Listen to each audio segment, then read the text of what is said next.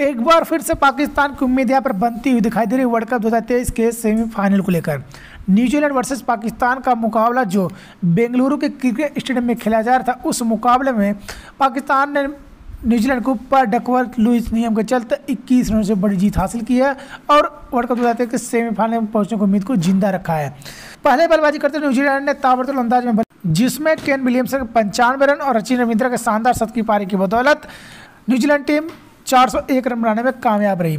402 रनों का बड़ा टारगेट पाकिस्तान के सामने रखी गई। हालाँकि जब इस टारगेट को चेंज करने के लिए पाकिस्तान के बल्लेबाज उतरे तो पहला विकेट बहुत जल्दी गिर गया। तो ऐसा लग रहा था पाकिस्तान ये मुकाबला भी गवा देगी। लेकिन उसके बाद बाबर आज़म की सूझबूझ और फ़खर जमान की ताबड़तोड़ बल्लेबाजी के चलते पाकिस्तान इस मुकाबले में बनी हुई थी और ऐसा लग रहा था कोई भी टीम ये मुकाबला जीत सकती है।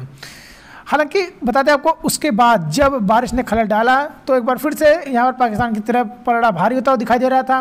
फिर इकतालीस ओवरों में यहाँ पर टारगेट को रिवाइज किया गया, लेकिन उसके बाद फिर से बारिश ने खलल डाला और पाकिस्तान इस मुकाबले को इक्कीस रन से जीतने में कामयाब। तो बड़ी अपडेट है, पाकिस्तान ने न्यूजीलैंड के ऊपर एक शानदार जीत हासिल कर ली है और वर्ल्ड कप दो हज़ार तेईस के सेमीफाइनल पहुँचने की उम्मीद को ज़िंदा रखा चैनल से जुड़े रहेंगे अपडेट तक, जय हिंद।